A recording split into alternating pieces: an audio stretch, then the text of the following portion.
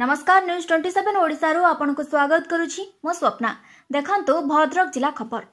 ସତାଅଶୀ ହଜାର ଛଅଶହ କୋଡ଼ିଏ ଟଙ୍କା ତଣ୍ଡ କଣିଲା ଓଭରଲୋଡିଂ ଟ୍ରକ୍ ଓଭରଲୋଡିଂ ସମ୍ପର୍କରେ ଗାଡ଼ି ମାଲିକ ଓ ଡ୍ରାଇଭରମାନଙ୍କ ବେପରୁଆ ମନୋଭାବ ବେଳେ ଦୁର୍ଘଟଣାକୁ ଆମନ୍ତ୍ରଣ କରୁଥିବା ବେଳେ ଅନେକ ସମୟରେ ମୋଟା ଅଙ୍କର କାରିମାନା ଦେବା ପରି ଘଟଣାର ଅନେକ ନଜର ରହିଥିବା ବେଳେ ଡ୍ରାଇଭର ଓ ମାଲିକମାନେ ଏହା ଉପରେ ଗୁରୁତ୍ୱ ନେବା ପରିତାପର ବିଷୟ।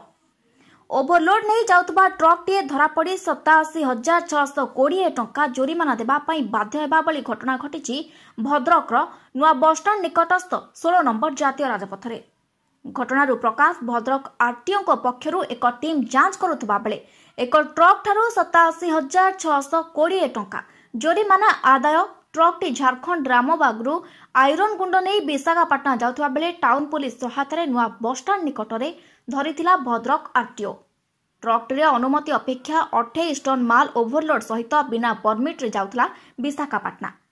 ଓଭରଲୋଡ୍ରେ ଯାଉଥିଲା ଟ୍ରକ୍ ଧରାପଡ଼ିଲା ତଣ୍ଡିଲା ସତାଅଶୀ ହଜାର ଛଅଶହ କୋଡ଼ିଏ ଟଙ୍କା ଜୋରିମାନା। ଭଦ୍ରକ ଆରଟିଓ ପକ୍ଷରୁ ଯାଞ୍ଚ ବେଳେ ଏକ ଟ୍ରକ୍ ଠାରୁ ସତାଅଶୀ ହଜାର ଛଅଶହ କୋଡ଼ିଏ ଟଙ୍କା ଜୋରିମାନା ଆଦାୟ ଟ୍ରକ୍ଟି ଝାଡ଼ଖଣ୍ଡ ରାମବାଗରୁ ଆଇରନ୍ ଗୁଣ୍ଡ ନେଇ ବିଶାଖାପାଟଣା ଯାଉଥିବା ବେଳେ ଟାଉନ ପୁଲିସ ସହାୟତାରେ ନୂଆ ବସ୍ଷ୍ଟାଣ୍ଡ ନିକଟରେ ଧରିଥିଲା ଭଦ୍ରକ ଆରଟିଓ ଟ୍ରକ୍ଟିରେ ଅନୁମତି ଅପେକ୍ଷା ଅଠେଇଶ ଟନ୍ ମାଲ ଓଭରଲୋଡ୍ ସହିତ ବିନା ପରମିଟ୍ରେ ଯାଉଥିଲା ବିଶାଖାପାଟଣା ଭଦ୍ରକ ବିରୋଧ Dilip ଘଣ୍ଟିଆଙ୍କ report news twenty seven Odisha